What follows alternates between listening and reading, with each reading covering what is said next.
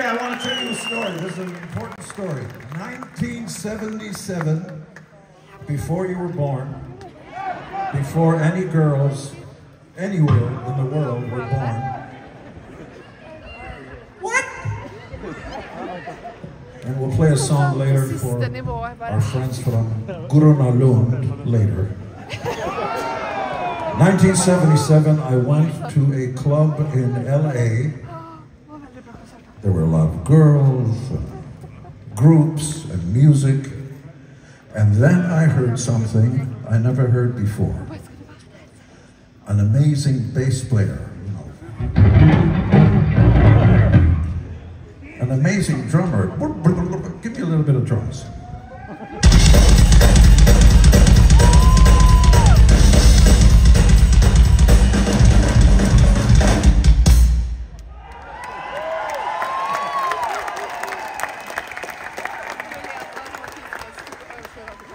Amazing singer.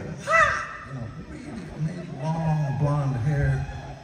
Amazing. And the guitar player. What, what was the guitar?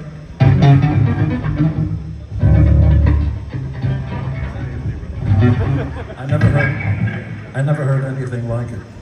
So I signed them that night. I brought them to New York.